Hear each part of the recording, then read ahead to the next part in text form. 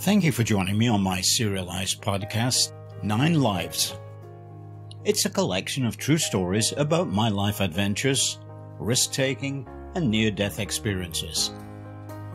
Nine Lives covers a timeline of 40 years, from 1960 up to the year 2000. I invite you to join me in this series of true and incredible accounts of thrilling adventures and more than a few occasions when it all might have ended for me. Welcome to episode 6 of Nine Lives A hijacking in Sierra Leone. This event took place in 1967 in Freetown, the capital city of Sierra Leone, where, along with my family, we lived for a couple of years consulting on improvements to the communications infrastructure that included radio and television broadcasting. It was a project of the UK Ministry of Overseas Development. Sierra Leone is currently one of the poorest countries in Africa, having suffered in the 90s from 11 years of civil war. It's a country whose area is about half the size of North Carolina, with a population of about 8.5 million people. It has a very small GDP of around $4 billion annually. However, during the 60s and the time that we were there, the economy was relatively strong, largely due to the export of diamonds. Today, it's largely an agrarian economy, with 80% of the gross domestic product being farm related. However, Sierra Leone is rich in minerals and particularly diamonds, and mining still forms a base for the economy. However, during the 60s and 70s, straddled with corruption, and during the time we were there, there were a series of military coups, and we'll talk about that a little later. As most will recognize, during times of political instability, radio and television become extremely important in communicating a message to the wider population. I became unwillingly entangled in this situation. My role was really as an advisor and not to get entangled with the day to day operation of the broadcasting organization. However, during each subsequent coup, I was called upon to ensure that the radio and television broadcasting operations were intact and available to whichever officials of the new government needed it. Shortly after arriving in Sierra Leone and taking up my position, the government provided us with a very nice house in an area called Hill Station, which is about three miles from the city center of Freetown. Our two older children attended a local school run mainly to accommodate children in the diplomatic service and children of officers in the Sierra Leone military. It was close to our home in Hill Station.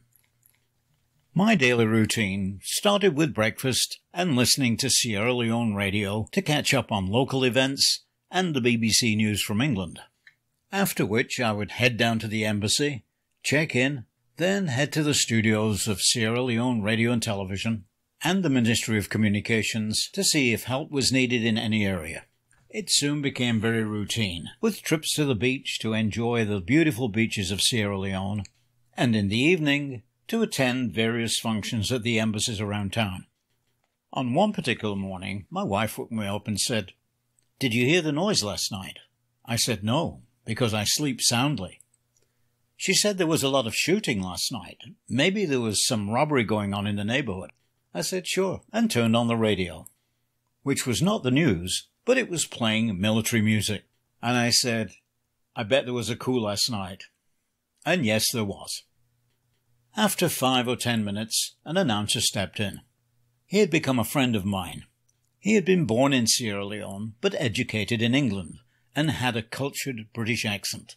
He announced that there had been a coup that night and that no one should come to town, but that everything would be back to normal within a day or two. And then announced the new self appointed president of Sierra Leone, who gave a long speech about why the coup had occurred and how everyone should feel safe now that the previously corrupt government had been displaced. On completing the speech, he handed it back to my friend, who simply said, And now we'll return to our normal broadcasting. He was a DJ, and the first record he put on was The Beatles' Help. I saw him later that day and I said, That was a brave one. And he simply shrugged his shoulders and smiled. The next attempted coup would come soon after. On the 18th of April 1968, Although it might have been a surprise to the general population, it was no surprise to me. Late in the afternoon of April the 17th, following a short visit to the Ministry of Communications, I headed back to the studios. And there in my office on the desk was a brown envelope with my name on it, stamped confidential. Opening it, there were two contents one a card, and the other a round sticker, the kind that you find in England to prove that your car is registered and it's usually placed at the bottom of the windshield in one corner.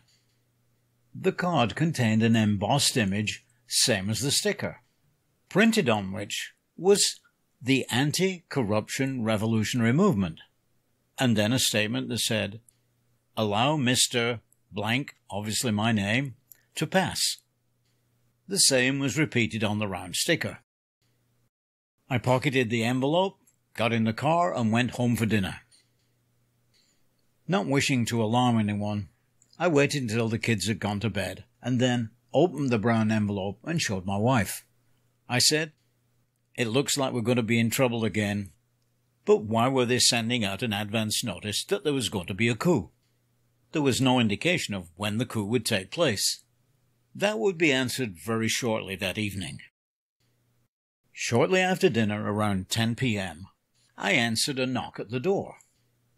Standing there were six army personnel, toting weapons and with a Land Rover sitting outside with the engine running. They were polite enough, but said they'd been sent by the ACRM, the Anti Corruption Revolutionary Movement. They said the coup had started, and they needed to have the radio and television transmitters on the air immediately, as someone had deliberately shut them down. I was unafraid I knew the Sierra Leoneans very well. Four of the six went with me to each transmitter and to the studios in town. Two remained behind, saying they were there to protect our family. I returned home with my gun toting colleagues at around 2 a.m. to find everything was fine at home. The kids were in bed. I thanked the two Army personnel who'd stayed at the house to guard our family and found out from my wife that she'd entertain them with tea and biscuits. That was the end of a very strange day. We hit the sack and waited to turn on the radio the following morning. It was pretty much a repeat of the broadcast following the previous coup, without my DJ and announcer friend hitting the airwaves with the Beatles. It was, in fact, a fairly peaceful turnover of power. I went to the studios the following day and it was as though nothing had ever happened. Nobody talked much about the new government, which was never democratically elected and became a dictatorship, ruling the country for the next 24 years. We never did experience another coup for the rest of the time that we were there in Sierra Leone. The country did, however, experience a wave of crime, particularly robbings and hijackings of expatriate staff who were heading up foreign companies operating in the vicinity of Freetown. And unfortunately, I was not going to escape that. Here's what happened late one night following an event in Freetown. It was late November 1968. The rainy season had ended, and people were starting to have parties outdoors. My wife and I were invited to such an event held at the Paramount Hotel, the premier hotel in Freetown. It was again nice to be able to sit out and not be rained out. The dinner lasted several hours, including entertainment. We left around 10:30 in the evening, and we wended our way up the narrow road to Hill Station, which is about 700 feet above Freetown. We had travelled this road regularly, without any incident. We arrived and found everything in order at home. When attending social events, which was part of the job, we hired the services of a young Sierra Leonean lady to stay with the children until we returned. She was great. Her name was Juliet. The kids loved her. Sometimes she would stay overnight, and I'd run her back home in the early morning when I went to the studios. On this evening, she needed to go back to town for an early morning doctor's appointment. The time was now about 11 p.m., so we piled in the car to head back down the windy road to Freetown. It was not a totally dark night, as there was a full moon, which certainly made it easier to navigate the narrow road down to Freetown, a journey of about two miles. Along the road were several bridges, the first of which was about a third of a mile from our home. As we approached this first bridge, I noticed that there was a large boulder blocking our path. It seemed to have rolled down the hillside onto the bridge. At least, that was my first conclusion, and I realized that we were not going to make it down to Freetown that night. As the road was too narrow, I couldn't do a turnaround, and realized that I would have to back the car all the way up the third of a mile to get back to Hill Station. And that's when things got really bad. A number of people appeared out of the bushes wielding machetes a broad bladed implement used by many in Africa in agriculture and cutting down bushes. This was a life threatening situation. Juliet started to scream. I immediately threw the car into reverse and started to back up the hill, not realizing that one of the machete wielding people was at the back of the car. I felt a thump, so I must have hit him. The others were starting to attack at the front, I continued to accelerate in reverse, not even considering that I might have run over the one at the back. By this time, one of the machete wielding guys was on the front of the car and about to smash the windshield. Juliet continued to scream like I'd never heard before. The car was now accelerating up the hill, and the guy on the front slipped off the hood onto the road.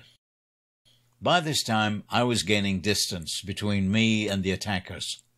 I hit the horn, and I kept my hand on the horn in an attempt to attract attention from people living close to Hill Station, but no one showed up. We were now close to the top of the hill, and an area that I could safely turn around, if I could do that without the hijackers catching up to us. I had in the past practiced fast turnarounds at a police driving academy. They executed the maneuver perfectly. We were now pointing forwards up the hill, with only just a few yards before we reached the top. Juliet continued to scream. Looking back, I saw that the machete wielding hijackers had given up. Although shaken by this life threatening event, we arrived home. Juliet calmed down, but was still shaking with fear. My wife met us at the door and realized that something bad had happened. It took a while before we could settle down and tell her the details. It was the first and last time that we'd experienced this type of life threatening event whilst in Sierra Leone. There continued to be a spate of robberies in the area of Hill Station, but again, we were not impacted by it.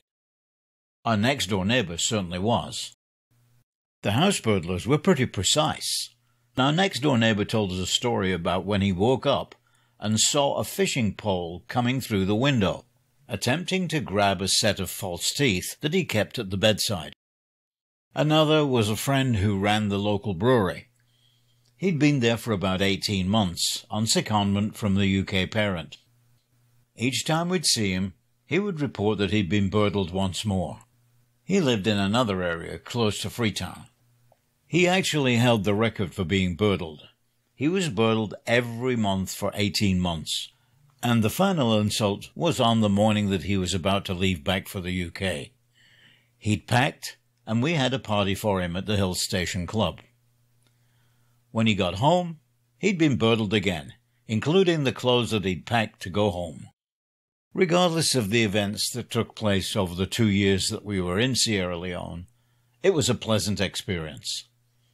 The Sierra Leonean people were gracious, friendly, and hospitable. Our farewell party aboard the SS Aureol that sailed between West Africa and Liverpool continues to be a great dinner time story.